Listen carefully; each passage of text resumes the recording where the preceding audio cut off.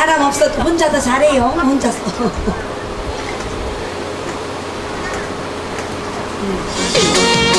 저 어.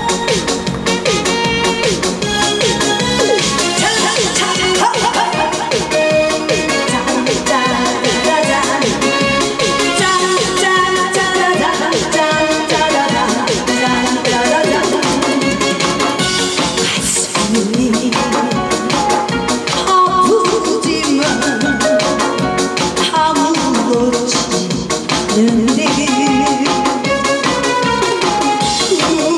으며 너를 보내지만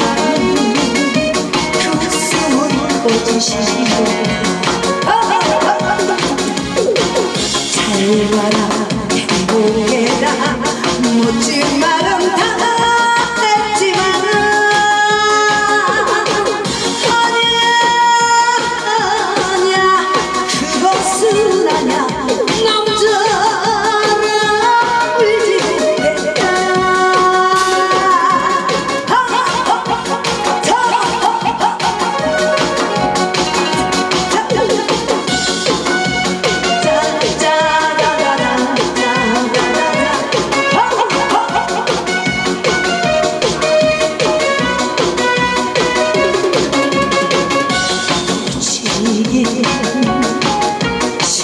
지만은 붙잡기도 싫어.